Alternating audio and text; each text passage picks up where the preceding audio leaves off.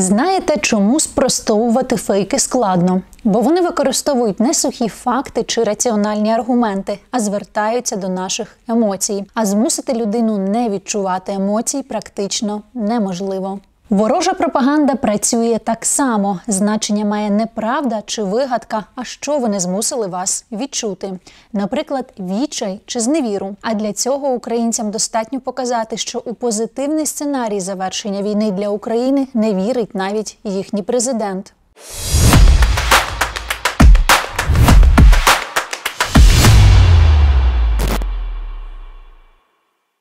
Нещодавно поширювали фейкову новину, нібито Зеленський вперше допустив переговори з Росією без виходу України на кордони 1991 року. Мовляв, Україна вже розглядає повернення тільки на лінію розмежування до повномасштабного вторгнення Росії. Насправді Зеленський сказав зовсім інше. На сторінці офісу президента в Ютубі опублікували його інтерв'ю американському телеканалу CBS. На запитання кореспондента, чи впевнений президент в тому, що Україна за умови наявності достатньої кількості озброєння зможе звільнити всі захоплені Росією території, включно з Кримом, Володимир Зеленський відповів, що для цього потрібна буде не лише зброя.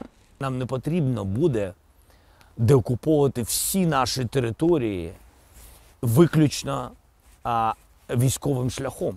Я впевнений, коли він втратить те, що він захопив захопив, починаючи з 22-го року, він втратить повністю впевненість навіть тих країн, які ще сумніваються, підтримувати Україну або ні.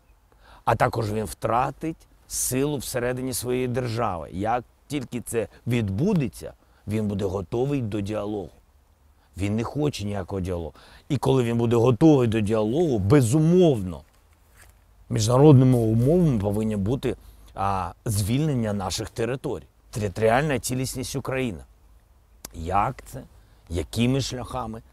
Який час на це потрібен? Хто повинен приймати участь, хто перемовники, тощо це все це друге або третє. Тобто Україна не відмовилася від планів відновити свою територіальну цілісність. Навпаки, Зеленський допустив використання для цього також невійськових методів. І це не перша схожа заява Зеленського. Ще у 2022-му він говорив, що деокупація Донбасу та Криму військовим шляхом коштуватиме дуже дорого.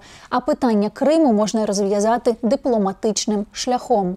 Інший інструмент, яким користується ворог, це так звана пропаганда страху, тобто вкиди, які мають спровокувати в людей панічні настрої. Наприклад, поки Росія справді знищує українські міста та цілить у цивільну інфраструктуру, як зараз це системно відбувається у Харкові, пропагандисти намагаються змалювати паніку у цивільних ще більшою ніж вона є насправді. Так у соцмережах просували відео, нібито з траси на виїзді з Харкова у 2024-му. На ньому можна побачити, як на виїзді з міста сформувався затор. Три смуги повністю забиті машинами. А у місто прямує тільки одна вантажівка, з якої і знятий відеоролик. Він мав показати, нібито харків'яни масово залишають місто просто зараз. За відео неможливо точно визначити, коли воно було знято, але цілком ймовірно, що цей затор зафільмували ще на початку повномасштабного вторгнення. Тоді мешканці Харкова дійсно масово виїжджали з міста. Передусім у кадрі чути слова автора відео: Ми їх, росіян, переможемо. На узбіччі видно залишки мокрого снігу, хоча березень у Харкові цьогоріч видався напрочуд теплим.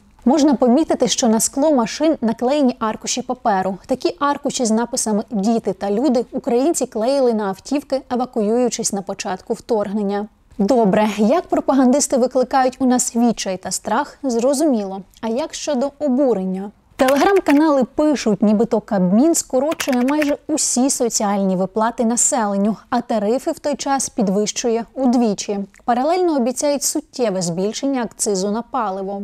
Давайте розбиратися по порядку. Щодо скорочення майже всіх соціальних виплат, у лютому 2024-го голова комітету Верховної Ради з питань економічного розвитку заявляв, що можливо в умовах дефіциту бюджету та зниження допомоги вони будуть переглядатися. Водночас про скасування усіх виплат не йдеться. Жодних інших офіційних заяв щодо цього не було.